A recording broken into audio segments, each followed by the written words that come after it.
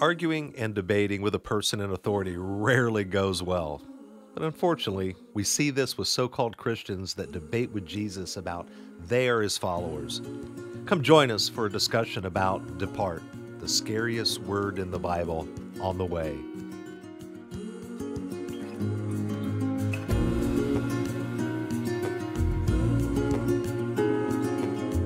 Welcome to The Way with Leslie King and Scott Grimmett.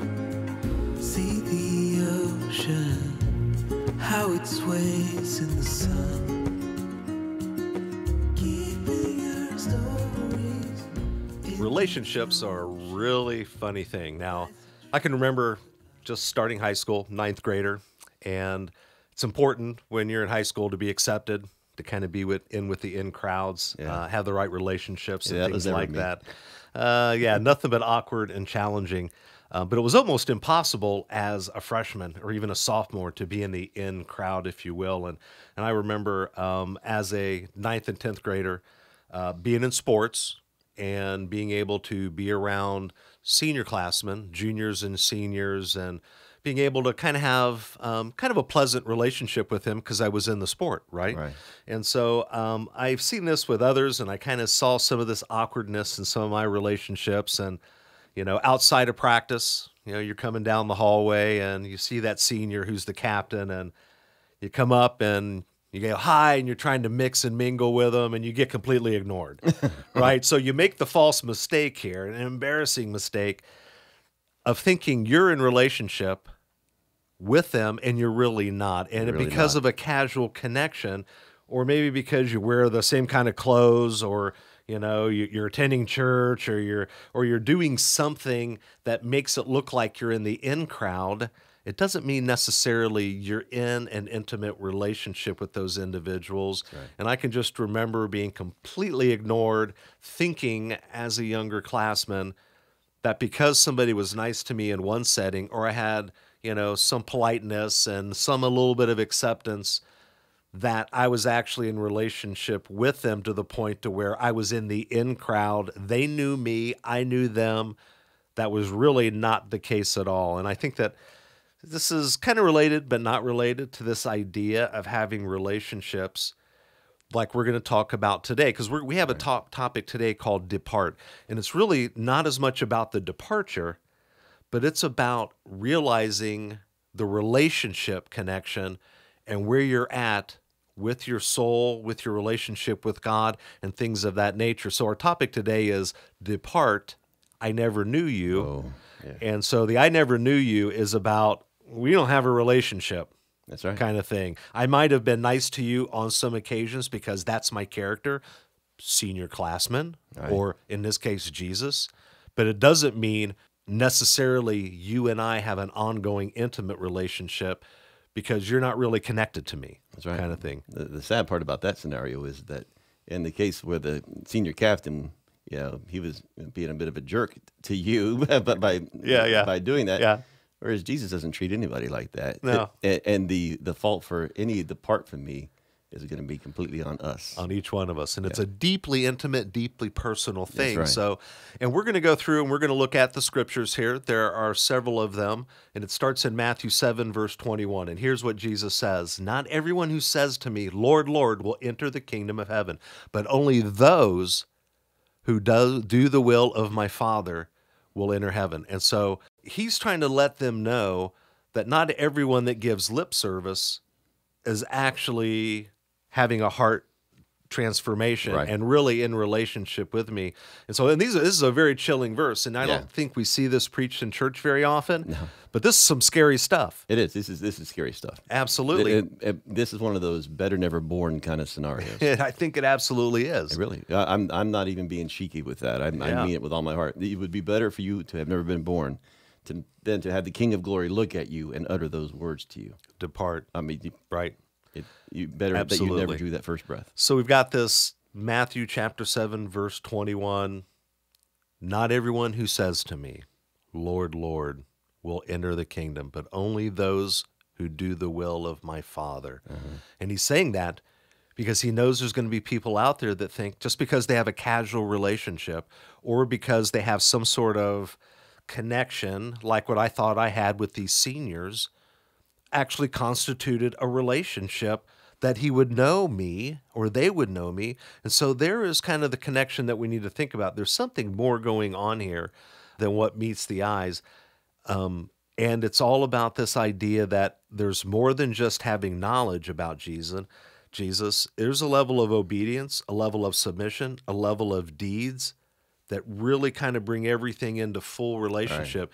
Um, and you've said this before. What is your spouse going to think how much you love them if all you do is say it and then you completely ignore them? Right. You can't say that at the You're altar. not really in relationship. That's right. You're right. If you if you say those loving words at the altar and then ignore her for the next uh, however many years, years, yeah. it's not going to go 30 years. yeah, yeah, yeah. No, it'll be pretty quick. But Yeah. I think that's the point here is is the will of the Father is what Right. we need to be about in our actions once we have that faith that you are Lord. Because clearly the people here are saying, Lord, Lord.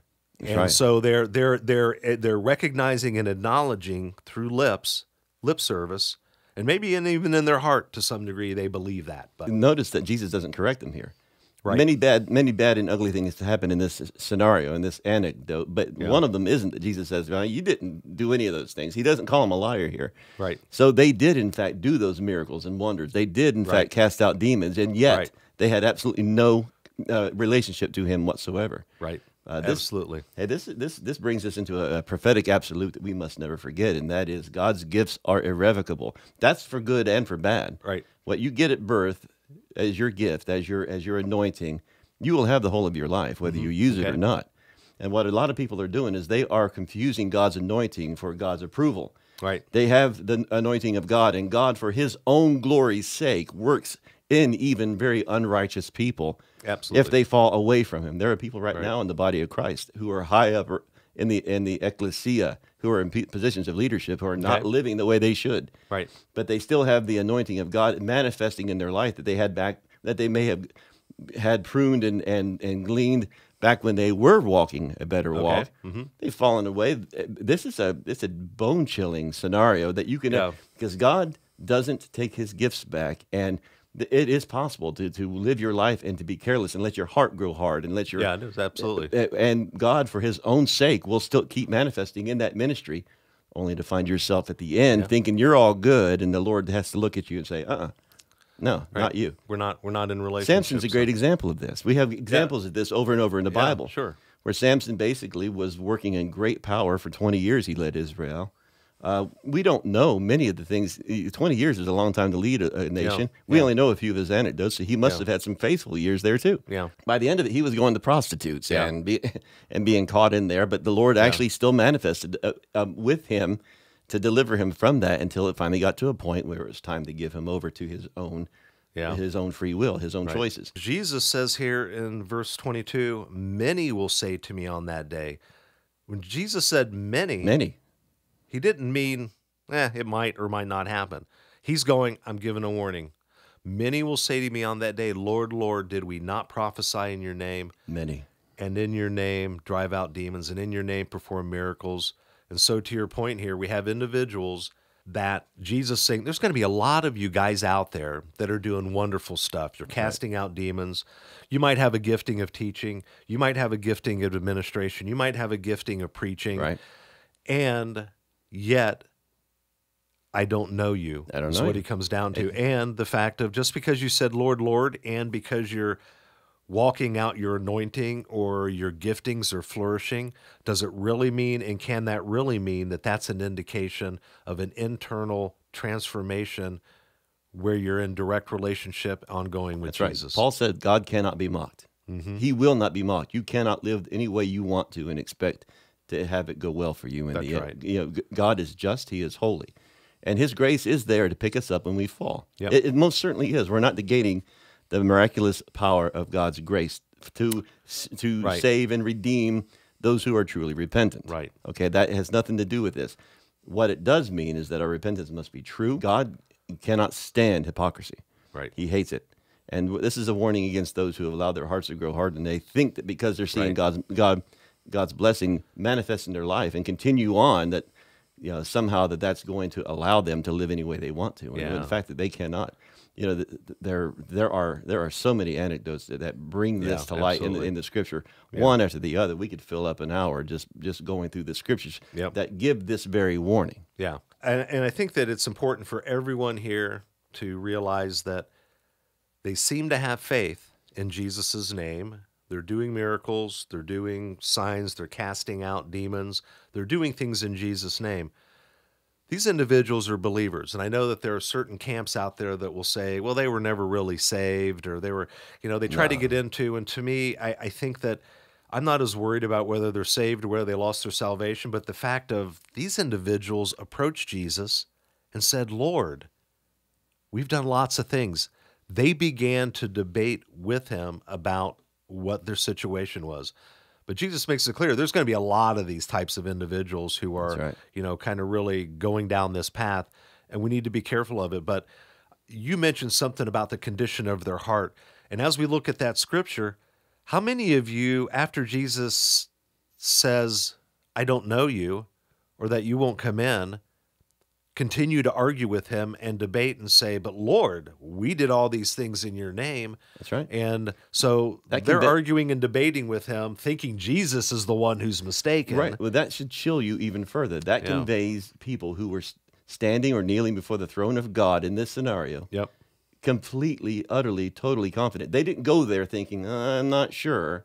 Right. They were absolutely certain that Oh, they absolutely were okay. secure. They had their their Yeah. deception had been so thorough Right. That they went there before the throne of God, thinking that they were going to be allowed to go in because they'd been taught forever that you can be any way you want to, act any way you want to, do whatever you wish, go your own way, and it'll be fine Go with your you own way, as long as you make some sort of lip service for the blood of Christ.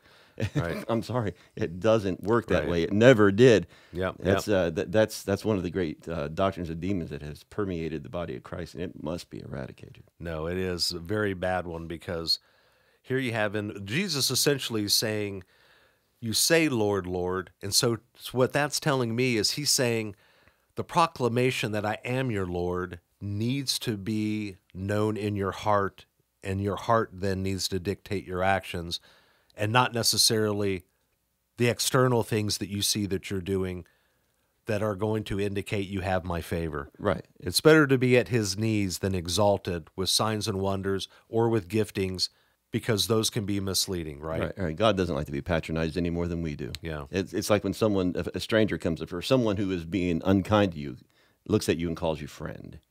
It's like that. And uh, it just it just grates you. yeah, and it's not real. It's not real. There's nothing genuine about it, and it actually equates to an insult. Right. You know, uh, that's pretty much what you're going to be. You're, what you're going to be doing to the Lord here. If you're living your life the way, Yeah.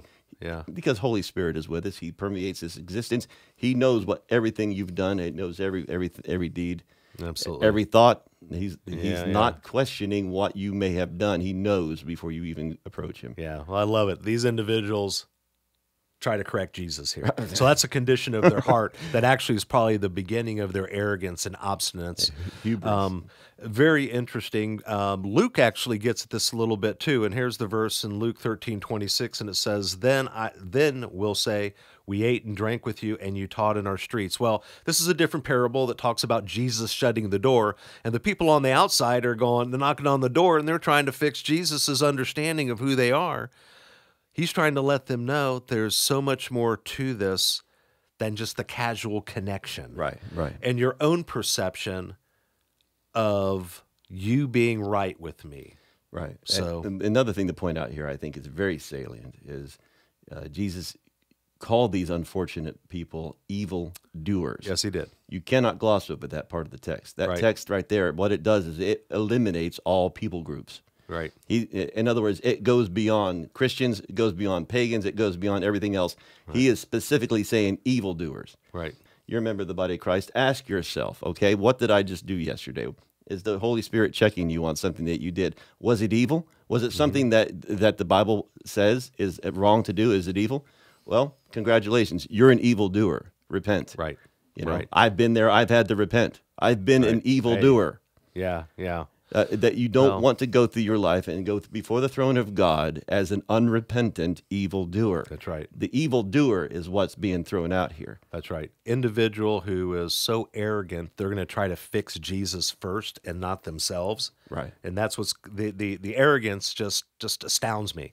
Well- but there are people out there that are because their ministry is flourishing, or they have large churches, or because their teachings are well received, or whatever the gifting might be. And maybe it's nothing. Maybe it's something they just built up in their own mind that they're good. Right.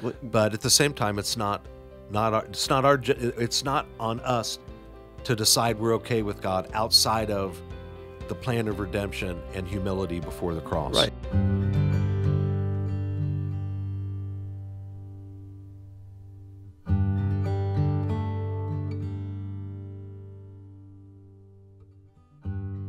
Yeah, we always get very excited when we have a book devotional that accompanies a particular podcast series. And in this instance, we have a devotional by the name of Walking in the Truth that accompanies our pod series, The Battle for the Truth. Never in modern times has the truth been under attack like what we are currently seeing. Vicious debates are raging over the sanctity of life, over sexuality, over gender identity, over the very existence of a loving God. Although Isaiah chapter 5 verse 20 sternly warns against calling evil good and good evil, this seems to be the sad condition of our society these days. This devotional is dedicated to the only absolute truth that we have in this fallen world. The Holy Bible and the scriptures therein are given to us by a loving God to help us find our way home. The attack on the truth is simply the process of calling the goodness of God evil and the evil of Satan good, and it's a blatant attempt to try to bring down the goodness of God to be equal to man or even below Satan. Walking in the Truth devotional covers key scriptures ranging anywhere from the testimony of truth in Jesus to how the Holy Spirit is involved in our walk as Christians to lead us into truth.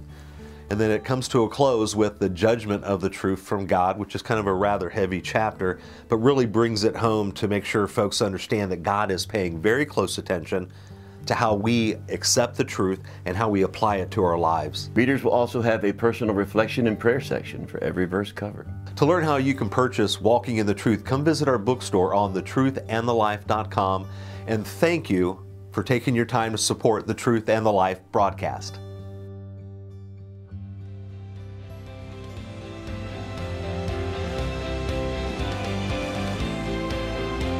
And it must be pointed out right now that there is as much sin within the body of Christ as there is without it. This is not guesswork. There are people who actually do put together these ma- matrices that have learned uh, through their through their R and D that the, the the percentages are pretty much the same Right. of all the things that that constitute sin.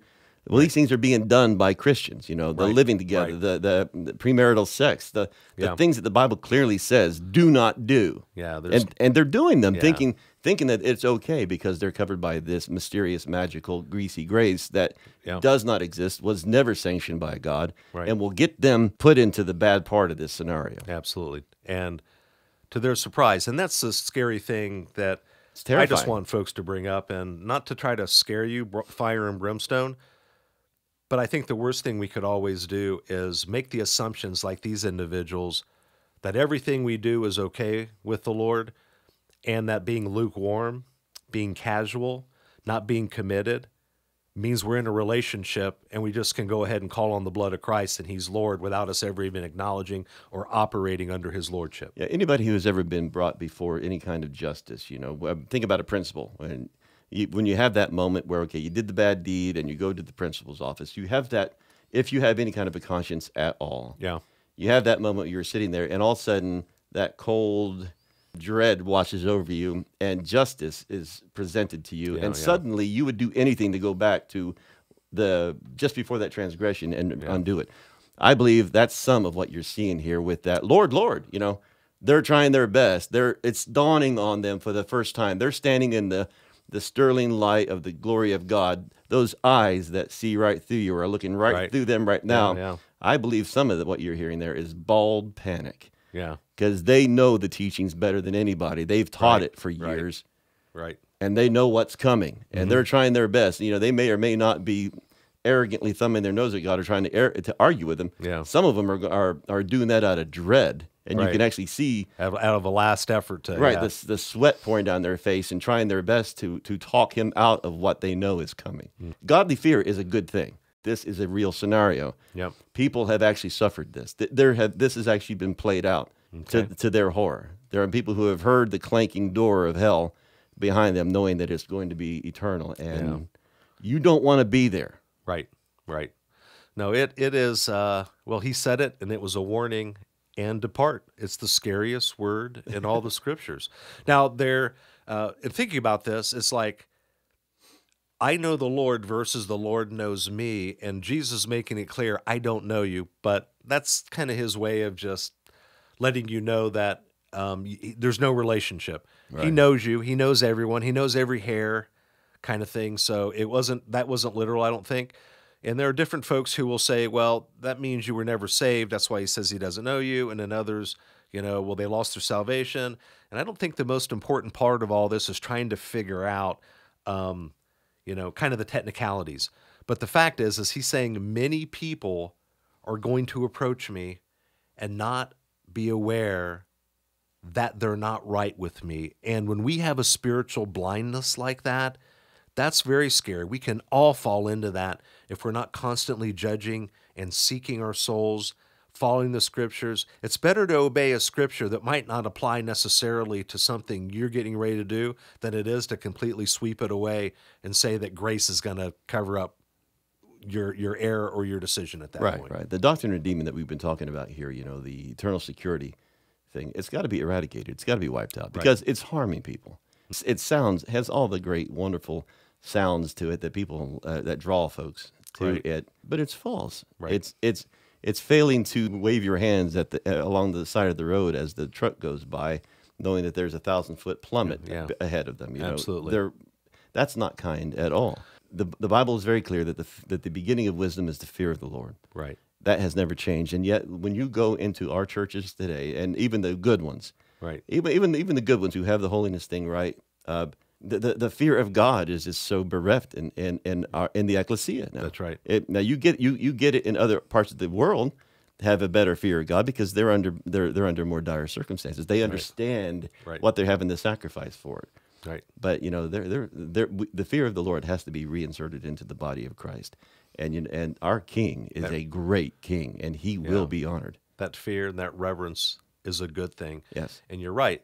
Um, we can get so comfortable uh, that with his love and his grace and his mercy, Which are real.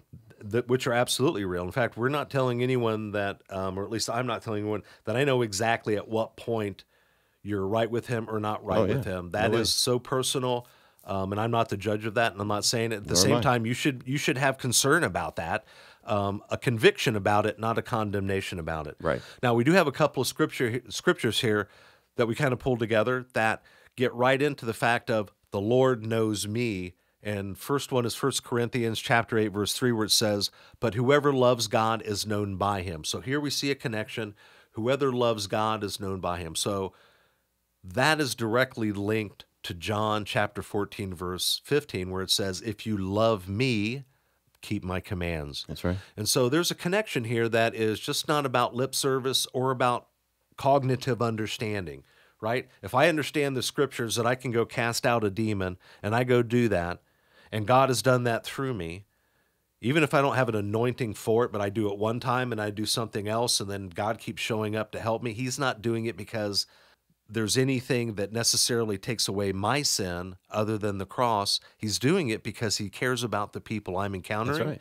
And he could be continually trying to draw me in closer to a relationship. But just because God shows up and does a miracle or blesses a teaching or grows some sort of ministry Right. that I'm running, it doesn't mean necessarily that um, I'm all right with God. No, we have we have biblical precedents for this. In the Old Testament, more than once, God said through the prophets, you know, when He was discoursing about the wickedness Okay. of the Israelites, mm-hmm. for my own name's sake, I did this. Right. Not because of you. Right. He pointed out that they were wicked and they were they were not worthy of any of that. For my name. For my name's sake, I would not have it profaned great among the nations. So I did this. I Right, allowed absolutely. this. Yeah. So it, it, that is the same God we serve today. Absolutely. God does miracles not because of us, but despite of us. Right. And most of the time, it's about the person receiving the miracle and not the person participating in what God's doing with it. Oh, it should It's never be about the person doing it. We're just servants. You know, and, Absolutely. and that's where a lot of people get into error. Yeah, when, yes. when they when they start when they have that little click and may, they may not even realize it has happened. When it's like, oh, clever me. Uh, when that moment happens, you know, God help you. You you you need to seriously recalibrate. Right. Get before God and repent and say and and and say, hey, look, I'm just a servant here. Everything that happens in my life, it manifests in my life, is for somebody else, so that we can build up this temple of God. And I think that's what's so important. And that's what I kind of read into the scriptures here is that they believed they were so blessed and he was with them and they had his favor and they had his approval because all these things were happening. They got a little bit arrogant to the point to where instead of him saying, I don't know you and going dropping on their knees, they could have been in panic mode. But to me, I, I, I think it's better to be in humility, not to seek anything, and to just submit to his authority because then you know you're at the foot of the cross, you know you're at his feet, you know, but not to the point of condemnation because I know a lot of churches they take this route of his love will lift you up, his mercy has you, and all that's wonderful. The problem is is that can lull us to sleep in a way that we forget about not being proud because being a Christian isn't about being special. It's about being a child of God that's a humility Right. that has a job to do while we're here. And yes, we are special. We're everyone's special. But this but is, that doesn't that should not make us feel like um, we don't have to do our part Right. in pursuing the relationship. And just like what John said in, in, in Corinthians, if you love me, I know you, and if you love me, you obey my commands. there you go, and and it goes right full circle to what you said at the very beginning of this thing. It's about relationship. About relationship. This is not rocket science.